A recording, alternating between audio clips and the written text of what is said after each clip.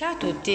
Allora, per fare questo giochino occorrono un cestino, va bene anche un cartone, lo tagliate a metà, poi prendete tutto quello che avete che riguarda il cane, palline, giochi, peluche, tira e molla, insomma, eh, chi più ne ha più ne metta.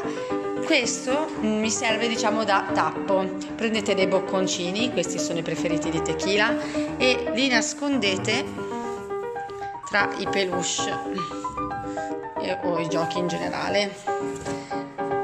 Come vedrete, praticamente il primo tentativo eh, che farà Tequila sostanzialmente di andare dentro col muso, però sarà abbastanza difficoltoso e dovrebbe poi prestarsi a ehm, tirar fuori i giochi dalla scatola.